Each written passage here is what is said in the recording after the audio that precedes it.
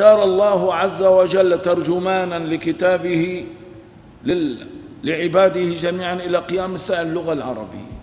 إذا شرفت اللغة العربية بهذا الاختيار الذي شاءه الله سبحانه وتعالى.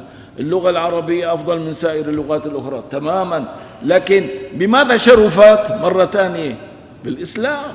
بالإسلام شرفت. ولولا الإسلام لكانت اللغة العربية خبرا من الأخبار التاريخية تسمعها ولعلك تظنها أسطورة من الأساطير.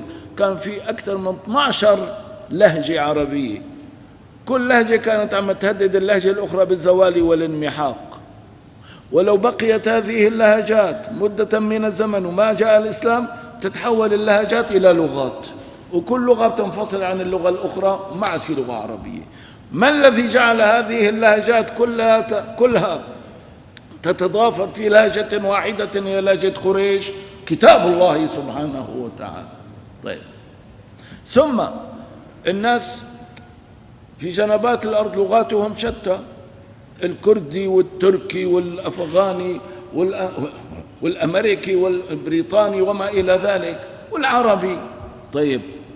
ما الذي جعلهم جميعا يصبغون ألسنتهم باللغة الجامعة التي هي لغة القرآن. دين. مضبوط؟ والله لولا العقيدة ما بيتعلموا اللغة أنا إنسان كردي الأصل. ما الذي جعلني أشرف بهذه اللغة وأتكلم بهذه اللغة؟ كتاب الله عز وجل الإسلام. دخل الإسلام هيمن على كياني. لا بد أن أفهم ما يخاطبني به رب العالمين. إذا لا بد أن أتعلم اللغة العربية.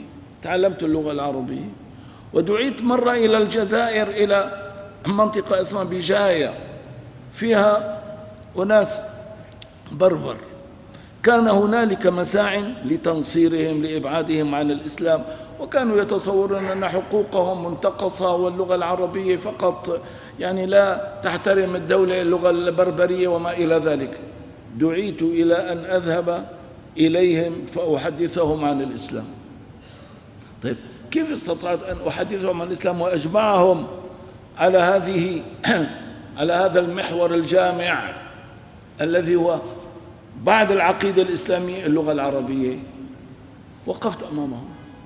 قلت لهم أنا إنسان مالي عربي أنا كردي أنتم بربر وأنا كردي. أي نعم. يا ترى شو اللي خلاني استأنس فيكم؟ أنتم تستأنسوا فيي. شو هو؟ الإسلام.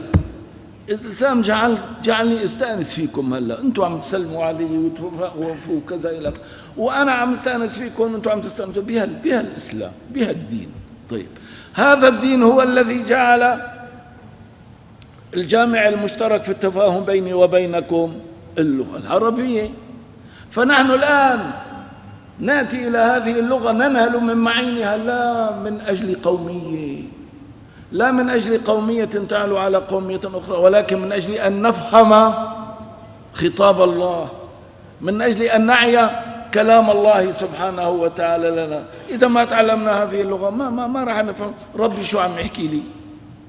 ما بتحبوا رب العالمين؟ كلنا بنحب رب العالمين. شوف ما الذي نفهمه من هذا؟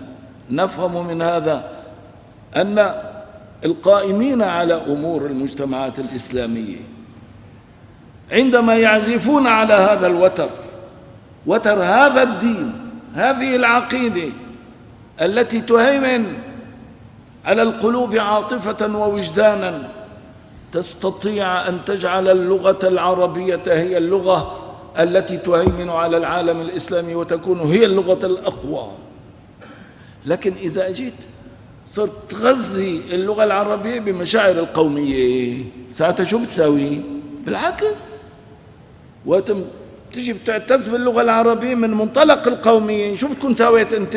أثرت المشاعر السلبية عند الأتراك عند الأكراد عند البربر عند, عند هؤلاء جميعا. لا مثل ما صار هناك. نعم. فلماذا؟ لماذا تترك المعين؟ تترك المصدر.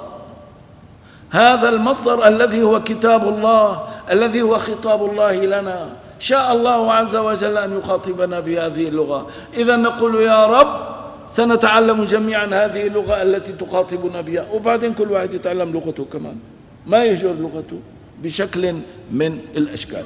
إذا وحدة هذه الأمة تتمثل في عقيدتها. والعقيدة هي التي تتبنى هذه اللغة.